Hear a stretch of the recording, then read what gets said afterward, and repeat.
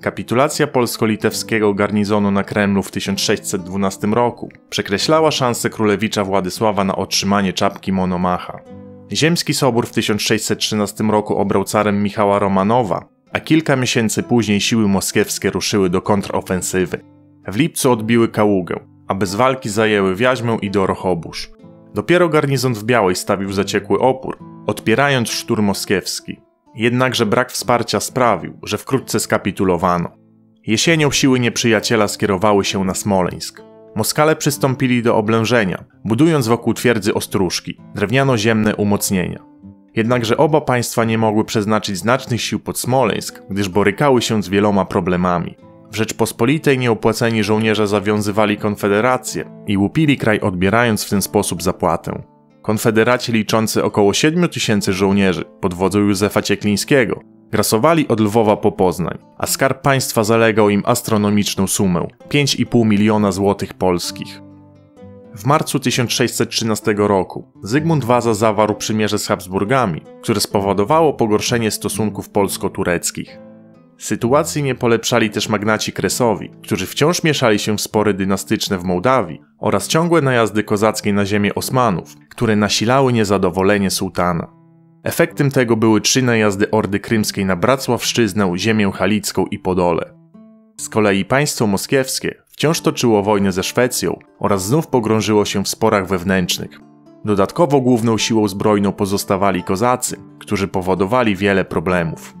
Największe z nich nadeszły od strony byłego przywódcy pierwszego pospolitego ruszenia, Atamana Zaruckiego. Posiadając znaczne wojsko, związał się z Maryną Mniszchówną i dążył do obrania carem jej syna Iwana, zrodzonego ze związku z Dymitrem II Samozwańcem. Następnie chciał założyć własne państwo między Donem a Wołgą. Wkrótce jednak siły carskie pobiły go w kilku potyczkach, a w 1614 roku Zarucki wraz z Maryną i jej synem zostali pojmani. W Moskwie Ataman został wbity na pal, a trzyletni Iwan został powieszony. Marynę wtrącono do lochu, gdzie wkrótce została zamordowana. Mimo poradzenia sobie z groźnym wataszką, w państwie moskiewskim wciąż wybuchały kolejne bunty chłopskie. W latach 1614-1615 na ziemię Rzeczpospolitej znów wtargnęli Tatarzy, a obrady Sejmu oraz prowadzone rokowania z Moskalami pod Smoleńskiem zakończyły się fiaskiem. Szlachta zrozumiała, że zawarcie pokoju lub chociaż rozejmu będzie możliwe tylko przy pomocy demonstracji siły. Tak więc kwietniowy Sejm 1616 roku, pragnąc rychłego zakończenia konfliktu, zgodził się na wyprawę królewicza Władysława na Moskwę, zezwalając na zaciąg 8400 żołnierzy. Już jesienią wysłano skromny oddział pod wodzą Aleksandra Gosiewskiego, aby nękał tyły wroga oblegającego Smoleńsk. Niedługo po tym dołączył do niego pułk Lisowczyków pod wodzą Stanisława Czaplińskiego. Dzięki zdecydowanym działaniom nieprzyjaciel wiosną 1617 roku odstąpił spod twierdzy.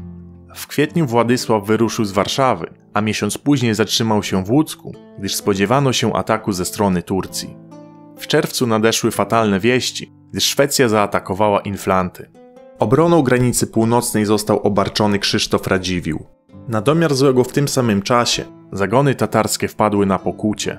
Władysław z rozkazu ojca odesłał część oddziałów pod komendę Żółkiewskiego, który odmówił udziału w ataku na państwo carów i strzegł kresów południowych. Królewicz wyruszył w stronę Brześcia Litewskiego z armią liczącą 3,5 tysiąca stawek żołdu, aby połączyć się z faktycznym dowódcą wyprawy na Moskwę, Janem Karolem Chodkiewiczem. Wielki hetman litewski na wieść o zbliżających się posiłkach wyruszył z czterotysięcznym oddziałem na Dorochobusz, a w październiku dołączył do niego Władysław. Siły Rzeczpospolitej liczyły teraz około 8 tysięcy żołnierzy. Demonstracja zbrojna wystarczyła, by otworzono bramy i poddano zamek, a część bojarów wraz z tysięcznym oddziałem przeszła na stronę Władysława. Na tę wieś w niedalekiej Wiaźmie wybuchła panika i większość oddziałów garnizonowych uciekła do stolicy. Bezradni mieszczanie oddali się na łaskę Władysława, który 24 października przekroczył mury twierdzy. Chodkiewicz chciał ruszyć na Możajsk, gdyż tam również część oddziałów uległa panice i zbiegła do Moskwy. Jednak żołnierz Rzeczpospolitej znów cierpiał na niedostatek żywności i brak żołdu, więc odmówił dalszego marszu. Dało to czas carowi Michałowi, aby w porę wysłać tam silne oddziały. Gdy Władysław święcił triumfy, granicę południową przekroczył Iskander Pasza wraz z 15-tysięczną armią zasilaną ordami tatarskimi. Hetman Żółkiewski dysponujący znaczną siłą wojsk koronnych wraz z prywatnymi pocztami magnackimi unikał walnej bitwy, pozwolił nawet Tatarom na złupienie pokucia oraz ostatecznie zgodził się na niekorzystny układ. Zawarto go w Buszy 23 września. Rzeczpospolita uznawała zwierzchnictwo Osmanów w państwach naddunajskich oraz obiecywała oddanie Mołdawii twierdzy w Chocimiu. Dzięki temu część oddziałów, m.in. roty Marcina Kazanowskiego, mogły udzielić wsparcia królewiczowi na ziemiach moskiewskich. Równolegle do działań Władysława pod Dorochoburzem i Wiaźmą, zagony Lisowczyków siały postrach w okolicach Kaługi. W grudniu hetman Chodkiewicz uzyskał informację, że garnizon w Możajsku nie zachowuje dostatecznej ostrożności. Postanowił więc nocą przedrzeć się pod twierdzę i z zaskoczenia zaatakować obrońców.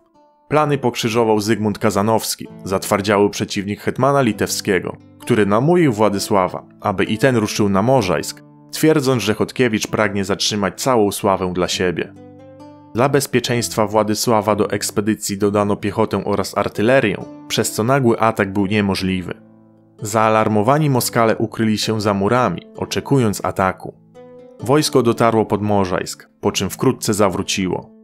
Nieudana wycieczka zakończyła się stratą kilkudziesięciu żołnierzy, którzy zamarzli na śmierć. Po tym wydarzeniu działania wojenne ustały. Wysłano posłów do Moskwy, ale nieprzyjaciel celowo rozciągał negocjacje, licząc, że ciężka zima, głód i choroby zmuszą siły polskie do odwrotu. Rokowania zostały zerwane, a kwietniowy Sejm 1618 roku przyznał niewielką sumę na pobór żołnierzy. Zygmunt Waza naciskał na jak najszybsze zakończenie konfliktu, gdyż na Kresy ponownie wtargnęli Tatarzy pod wodzą Kantymira. Siejąc pożogę, dotarli pod Lwów. W czerwcu spod Wiaźmy w stronę Borysowa wyruszyła armia Władysława. Wkrótce zatrzymano się pod Krzemieńskiem, gdzie ściągały pozostałe siły. Tutaj dotarł też pułkownik Marcin Kazanowski ze swoim oddziałem, który po drodze zajął Starodub. Dumny pułkownik nie chciał zdać się pod komendę Chodkiewicza i wkroczył do obozu pod Buńczukiem Hetmańskim.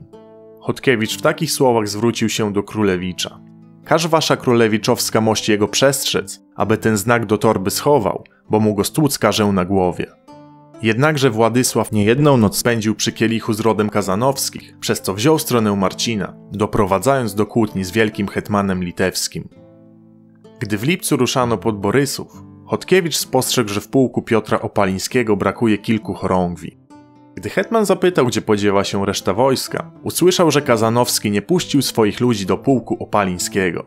W jednym momencie Chodkiewicz pokazał, dlaczego wśród podkomendnych nazywany był Belzebubem.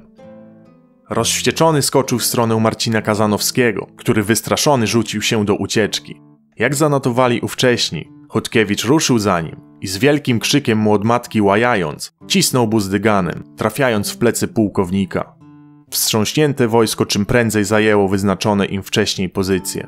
Kazanowscy szybko zeszli na ziemię i poprosili Władysława, by wstawił się za nimi u wielkiego hetmana litewskiego.